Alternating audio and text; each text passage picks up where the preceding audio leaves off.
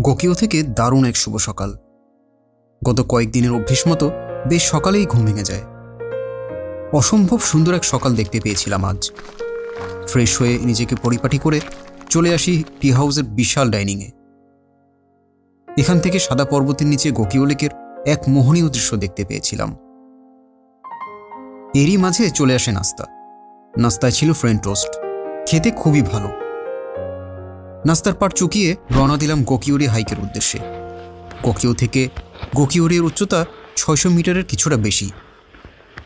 অল্প একটু দূরত্বের মাঝেই ছয়শো মিটার হাইক কিন্তু বেশ চ্যালেঞ্জিং আর যেহেতু তেমন কোনো তাড়া নেই, রোয়ে শোয়ে সময় নিয়ে বেশ কঠিন খাড়া এই হাইকের দিকে যাত্রা আরম্ভ করি।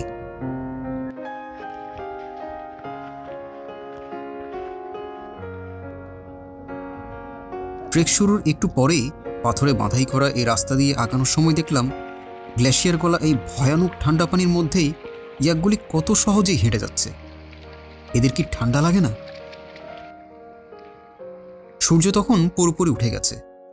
সকালে রোদের আলোয় লেকের পানিতে বিশাল পর্বতগুলির যে প্রতিচ্ছবি দেখা যাচ্ছিল, তা আসলে বর্ণনা করার কিছু নেই।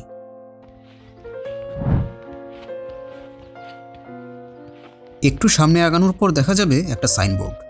নেপালের অন্যতম জনপ্রিয় পাস রেনজোলা। তার জন্য যেতে হবে হাতের বামে।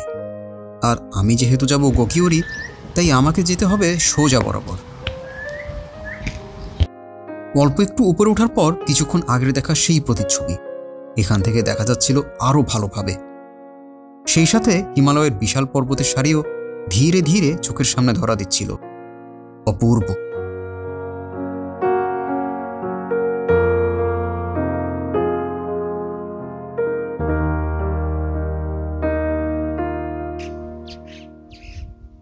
এভাবে ধীরে ধীরে যখন উপরে উঠছিলাম এক এক জায়গা থেকে লেকের পানির রং এক এক রকম দেখা যাচ্ছিল।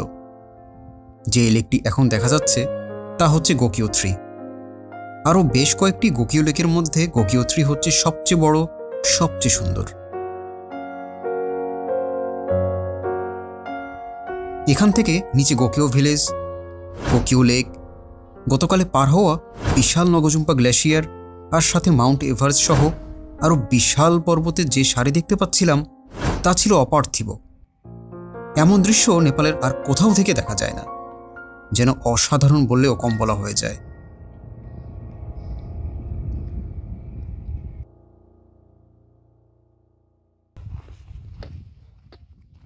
একটু পরে হঠাৎ করেই কেন জানি শরীর খারাপ হতে শুরু করে। বেশ কিছুক্ষণ সেখানটায় অপেক্ষা করার পরও যখন দেখলাম শরীর কথা বলছে না তখন নিতান্তই বাধ্য হয়ে আবার নিচে নামা শুরু করি। মনটা খুব খারাপ হয়ে যায়। এতদিন ধরে এতটা পথ পাড়ি দিয়ে এসে এমন অবস্থা হবে আসলে চিন্তাই করিনি। নিজের মনকে এ বলে সান্ত্বনা দিচ্ছিলাম, যতটুকু আসতে পেরেছি, যতটুকু দেখতে পেরেছি, তাই বা কম কিসে। নিচে নেমে এসে অনেকক্ষণ ধরে লেকের পাড়ে বসেছিলাম। এখানে আবার কবে আসতে পারব তা তো জানি না, তাই যতটুকু পারা যায় সময়টুকুকে একেবারে নিজের করে নেওয়ার চেষ্টা।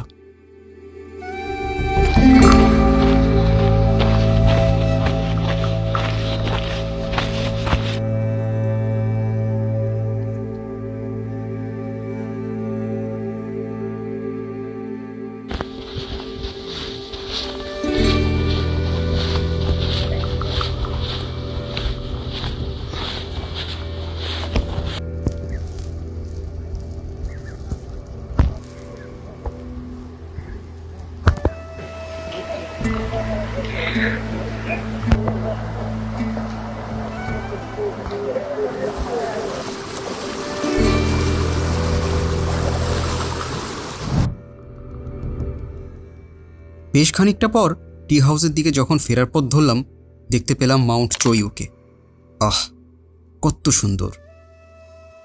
এরপর রুমে ফিরে এসে ব্যাগ গুছিয়ে চেক আউট শেষে মন খারাপের এই দিনে ফেরার পথ ধরি।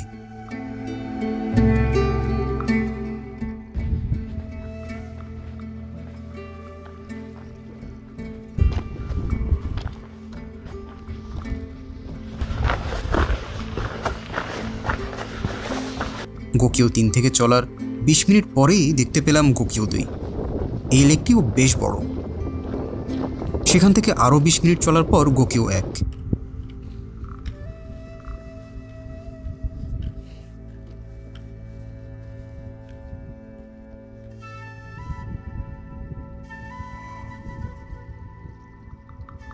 আর এর মধ্যে দিয়ে শেষ হয় আমার ইবিসি আর গোকিও লেক সলো ট্রেকিং অভিযান।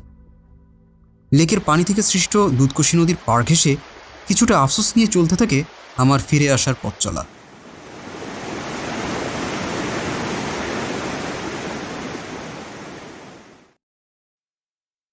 কিন্তু শেষ হতে হতেও শেষ করতে ইচ্ছে হলো না, কারণটা বলছি। ফেরার সময় চিন্তা করেছিলাম আর কোনো ভিডিও করব না।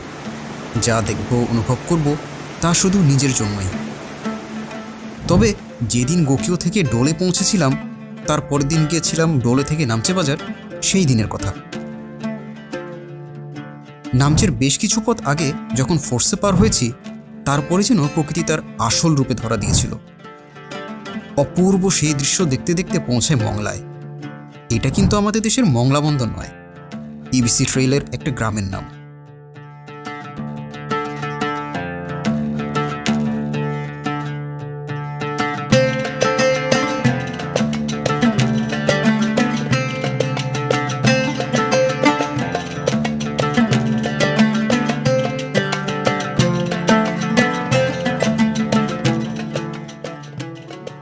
এখানে বেশ কিছুক্ষণ বিশ্রাম নিয়ে যখন কায়েংজুমা ভিলেজে পৌঁছালাম, তখন আমি তো একেবারে স্তব্ধের মতো হয়ে যাই।